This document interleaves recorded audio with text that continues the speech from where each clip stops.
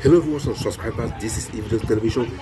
This was the very moment Senator Rochas Okorocha was whisked away. Yes, this was the very moment. There were a kind of argument between some parties before the eventual whisking away. Yeah, as you can see. So, argument going on.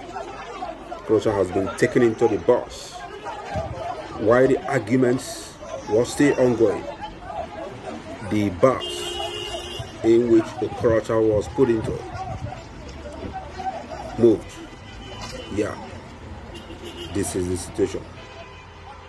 This was exactly what happened.